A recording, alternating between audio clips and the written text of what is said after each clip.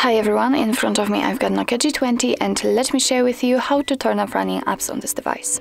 So actually all we have to do is to simply open the special uh, place which is called Recents and it depends what kind of navigation bar, uh, what kind of navigation type you've got set. If you've got gestures just like me, all you have to do is to simply swipe your finger up gently and hold it somewhere here. But if you would like, if you will have the navigation buttons, um, then you will probably have to tap on the three bars icon or a square icon.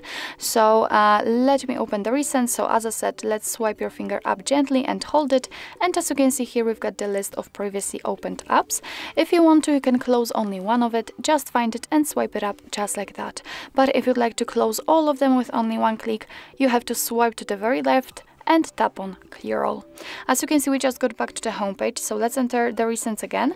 And here we've got the information that we have no recent items, so it means that we just successfully closed all running apps.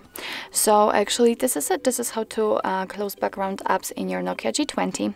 Thank you so much for watching. I hope that this video was helpful, and if it was, please hit the subscribe button and leave the thumbs up.